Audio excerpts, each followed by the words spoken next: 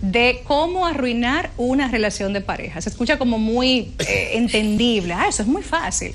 Pero vamos justamente a mencionarles a ustedes muchos tópicos que regularmente en la consulta clínica uno observa y que eh, tantos años viendo lo mismo, lo mismo, uno dice, ah, porque la gente le coge el gusto a este tipo de conductas o actitudes. Arruinar un vínculo de pareja es muy fácil. Por eso es que estar en pareja es para gente valiente, para personas empoderadas y que estén muy enfocadas en prosperar este vínculo tan especial y al mismo tiempo tan ñoño en buen dominicano, tan sensible y vulnerable, porque es muy fácil alterarlo, es muy, está muy al alcance de todos cometer errores que lo alteren, que lo dañen, que lo manchen. Y vamos a comenzar diciéndoles que de lo primero que uno observa en los vínculos de pareja con los que trabajamos es la indiferencia, ese, esa costumbre, ese decir, ya nos conocemos, ya ella sabe quién soy yo y descuidamos el nutrir cada día, el abonar cada día esta relación con palabras, con los afectos, con el servicio. O sea, la, la indiferencia es muy asesina del vínculo de pareja. Otro punto importante, gente bella, que vemos mucho es amenazar.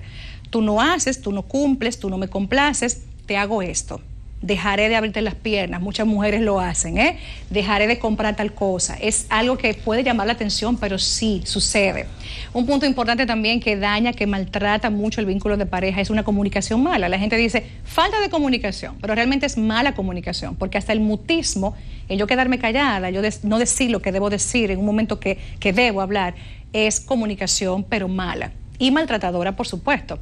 Otro punto importante, y aquí voy a cerrar, es la falta de gratificación. Mucha gente se descuida y no le da trascendencia al hecho de salir como pareja o eh, desconectar de la rutina y de la monotonía para darse un tiempo de calidad de ah, vinculación, donde salgamos del bucle de, de, todo lo cotidiano y nos demos un tiempo a solas de compartir, de tomarnos la mano, de vernos a los ojos, de comer rico, de una playa, lo que sea que nos gratifique a ambos.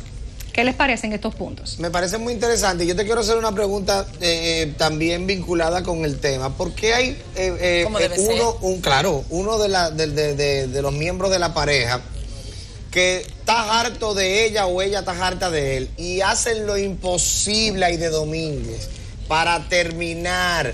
Pero no se atreven a decírselo en la cara, mira, se acabó la relación, pero, pero voy a hacer lo imposible para destruir la relación ¿Por qué ese sentimiento? ¿Por qué hacen esa estrategia Aide Domínguez, ella o él en ese momento? Es una estrategia eh, eh, mental interesante porque sabes que el terminar una relación va a implicar luego un duelo y una culpa y un señalamiento social que mucha gente no está dispuesto a pagar ese precio. A que me digan a mí que yo fui que destruí o que yo terminé esa vinculación. Entonces lo que hacen es desinteresarse, ser indiferentes, mostrar una apatía, dejar de tener intimidad sexual, no comunicarse de forma saludable y funcional.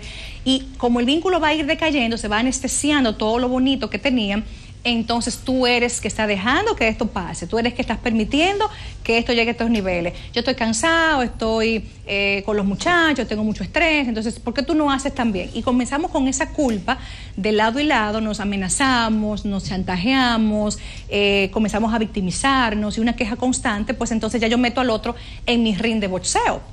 Ven, es una estrategia muy mediocre, no es adulta en lo absoluto, no es inteligente.